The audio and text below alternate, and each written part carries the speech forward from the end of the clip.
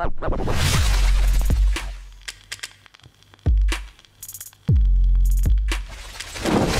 guys, what's up? It's Joe. My cheers, as always. Hmm. Stupid thumbnail pick right there. Hmm. So one of the, one of my followers, Jeremy, what's up, homie? Uh, he basically does like a video game uh, editing, right, for uh, a gaming channel. I did like a tutorial on how to like uh, do some color correcting and stuff like that, and he pretty much made the comment that because he does gameplay, he doesn't do much color correcting or something like that, right? So that got me thinking, actually, um, I mean, unless you're doing something crazy, you know, doing some like montage of you shooting people or whatever, you can actually do whatever you want, right? But when I do gameplay footage, there is something in particular that I do basically to help my video out when I upload it to YouTube, right? And that's basically what I want to share with you right now, right? Now, I play Apex. It's one of my favorite games, right? Here's my timeline, you know, no biggie. But what I added was an adjustment layer, right? And on the adjustment layer, what I did is like I shifted it over to be in the center of the screen, right? So you can have a comparison of what I'm doing. Let me show you. So basically you can see this line here in the middle. Yeah, basically that's the, the adjustment layer that I added. So basically what I did is on the right side of the screen here, the adjustment layer, it has two filters that I always add when I uh, export my video from Premiere Pro. Now this doesn't have to do with Premiere Pro, whatever editing software you have, you can do this, right? But uh, this is what I wanna show you. In my adjustment layer, there's two filters I have. One is the Luma curve. You know, you can just, you know, you can just type that up on your, uh, on your effects. Yeah, Luma curve, that's what I got. And also a sharpen filter. So these, these two filters, a Luma curve and a sharpen, those are the two main things that I always add to my gameplay footage before I upload to uh, YouTube, right? What I do with these filters is one, let me reset these back to zero. So as you can see here, you don't see nothing. There's no like divider in the, in the center of the screen, right? Because it's, it got reset it. You don't see anything, right? I'm select my adjustment layer. I don't know what if you're able to add an adjustment layer into other editing softwares, but this is how I prefer to work. That way when you have a gameplay and you have like a bunch of edits and all that, whatever you put in the adjustment layer, like filter wise, I guess it affects everything that's underneath it, right? So if you have a bunch of like clips here, it's a lot easier, it's a lot quicker. So I'm gonna select my adjustment layer and what I do is, is mainly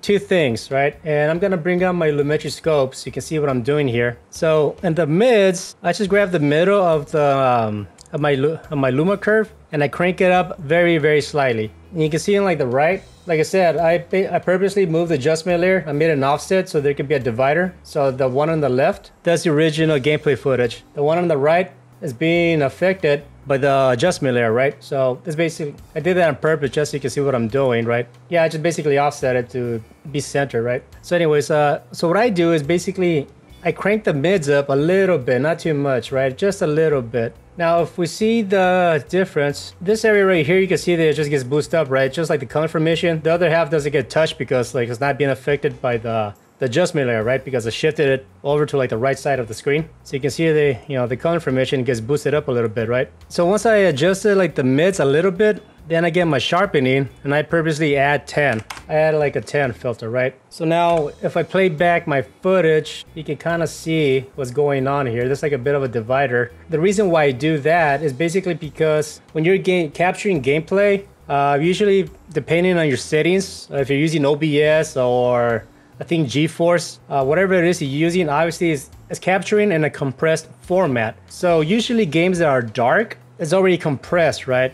And then when you export your footage from your editing software, when you export it, say like an, an H.264 format, that's being compressed again. Then when it gets up to, uh, you upload it to YouTube, YouTube's gonna do its other compression or whatever the hell it does, and then, you know, your video gets compressed multiple times, right? So by me adding this mid uh, increase, what I'm doing is I'm helping my video not get compressed too much, uh, especially during like the dark areas, right? I'm gonna find a good spot. As you can see here, this half uh, is not affected by the filter. The right side is, right? So you can see how black it is. Like there's like a very distinct line in the middle, right? So on the left side of the cave is the darkest. There's no light source. On the right side, you know, there's the opening. There's the door here, right? This is the original gameplay footage. You can see how dark it is. And this is the right side of the game footage where I increased like the mids and I added like sharpening, right? Now in my gameplay, I actually captured myself turning around to see the opposite side. That way, like the shadow area is gonna be on the right side where my filters are at. So I'm gonna show you the difference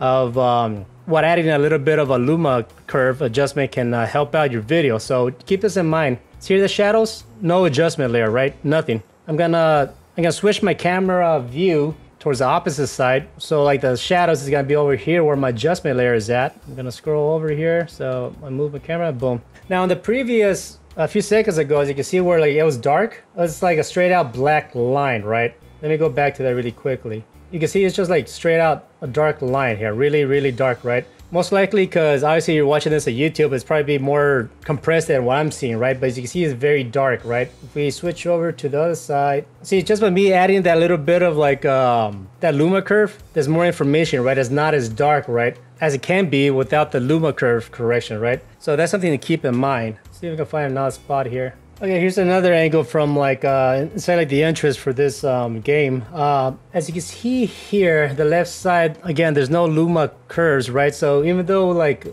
this area here where the shadows were, it's very dark, right? You can see, like I said, like another line. It's very defined, right? The right side where we have the adjustment layer, you can actually see more of the detail here, right? Because like I boosted it, boosted the mids up a little bit. Also, because I added the sharpening filter, it actually brings up more detail inside of the rock, right? As you can see here, like this area, there's no sharpening. Along with being uh, dark, it's also very blurry, right? Because there's no sharpening, right? So that's why I like to add a little bit of sharpening to my gameplay. Uh, here's another angle from like the other side of like the view, right? So we're, I was standing over here. Now I'm standing like kind of like at the other side of it. As you can see here again, like I said, like uh, it's pretty dark here, but with my Luma curve, they added like a little bit of a boost in the mids. You can see more detail of the rock along with like the sharpening, right? So this is pretty much why I think it's uh, important to add like a bit of a Luma uh, curves to your video gameplay. It just increase the mids a little bit along with the sharpening, right? All right, so to end the video, I actually rendered out the video that I was just showing you in Premiere Pro, and I uploaded it into uh, into a private video on my YouTube channel, right? I want to show you how much the adjustment layer helps out my gameplay when I upload it to YouTube. So most likely this is compressed. I'm showing this video, so I'm I'm capturing a compressed video format. It's gonna get probably get compressed more when I upload it to YouTube. So fucking not whatever. But um, I'm just want to show you how much this helps, right? So if I go back to my previous example of like this area, this area is completely black because like I said, since there's a lot of like shadow on this information, basically the compression is gonna be like, all right, this is all similar.